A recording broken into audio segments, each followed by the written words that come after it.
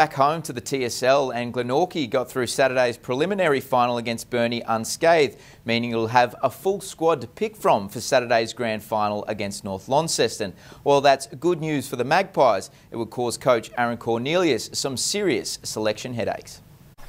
There's usually a hard luck story in grand final week. Unfortunately, an entire squad doesn't fit into 22 positions. It's hard, um, but in the end, obviously, um, players need to understand it's for the greater good, and, and that's the way footy is. It's you know, there's there's plenty of players before them who've obviously missed out on grand finals, and there will be moving forward. Glenorchy progressed to this Saturday's season decider after thrashing Burnie in the preliminary final. It was uh, obviously an emphatic win, but uh, we know that that's, uh, that's not going to be a sign of anything this weekend. Despite finishing the season as minor premiers, the Magpies got to the grand final the hard way after losing to the Bombers in their semi-final clash. North Launceston have, have gone the hard route and so have Hawthorn. Um, so obviously not putting ourselves in the, in the Hawthorn bracket, but um, it's, it's not that that hasn't been performed before and, and we're certainly ready for it.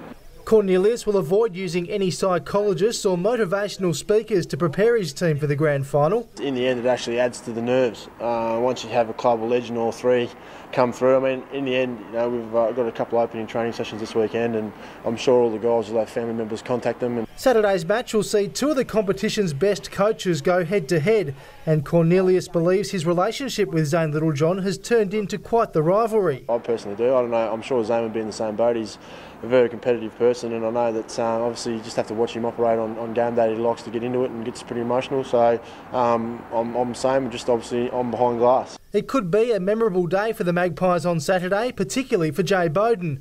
He was named in the top 10 for this season's Alastair Lynch medal today and is red hot favourite to claim the award at the grand final luncheon. The personal accolades are very nice and he's a tremendous player and he certainly deserves everything that he gets, but I know that he wants the team success and, and we want to try and help him along that way.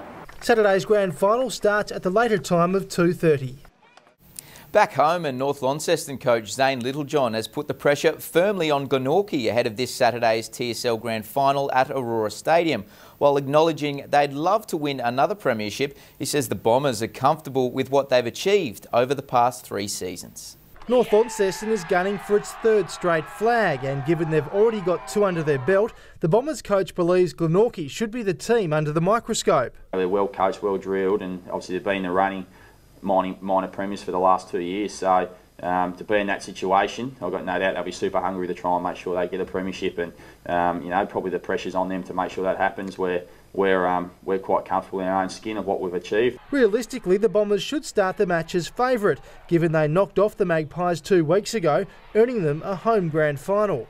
Probably leading up into um, last week, sat sat pretty comfortably with me, but then Aaron comes out and says he's more confident about winning this week compared to last week. So, and then they win that game by 94 points. So I hate to know what he's going to do to us. And the hits kept coming. There's a lot of talk about Ace calling us the favourites, which is fantastic, and if he wants to go with that title, but he probably needs to make sure his players understand the same because there's a lot of players in their in their camp think that's theirs to lose. Yesterday, Cornelius said he enjoys his rivalry with Littlejohn, but the Bombers coach insists there isn't one. I've always said at this footy club it's not about one person, so it's about us as a footy club. There's a rivalry between the North Launceston Football Club and Glenorchy. The secret to the Bombers' semi-final success was getting under the Magpies' skin, forcing them to give away a number of crucial free kicks. That's how we like to approach our footy. We like to approach with a warfare mentality, um, do anything it takes to win. So if, if, that's one way we can get under their skin and get an advantage, yeah, we'll, we'll do it, yeah. This will be Littlejohn's last match as North Launceston coach, with his players hoping to give him a fond farewell he's the best coach in Tassie. He's the best coach I've ever had. So, um, yeah, it'd be great to send him off with that, but not just for him, but for the whole footy club would be, yeah, enormous. End of the day, it's a grand final. If you're not motivated for this, you probably never will be. First bounce in Saturday's grand final is at 2.30. Brent Costelloe, Win News. Well, you often see two brothers playing with or against each other on the football field, but on Saturday that will extend to umpiring.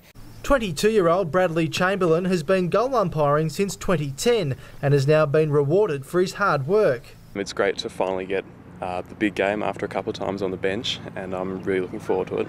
And if umpiring the grand final wasn't special enough in its own right, he'll get to do it alongside his brother, 19 year old Lucas, who'll be running the boundary. We've done a few games together, and it's always a bit of a laugh beforehand, but in the game, I almost don't notice it, but it will be uh, good fun with him. Originally, it was just for money for me, but you know, it's so much more than that now. It's the social thing and the fitness and just having a good time, that sort of thing.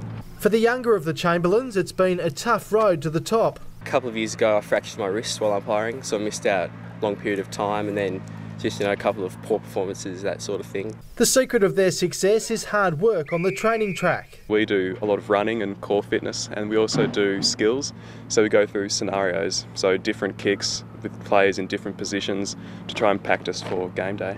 While umpiring the TSL Grand Final is the pinnacle of Tasmanian football, both young men have their sights set a little higher. Oh, look, I'd love to umpire in the AFL, and if this is a step on the way, then that's fantastic. Now that I've reached this goal, uh, you never know. Who knows what will happen? Nick Saltmarsh and Joel Harris will each umpire their third grand final, Mark Tuckett his second. It'll be boundary umpire Adam Reardon's six in a row, with Reese Goodyear making his debut. Brent Costelloe, Win News.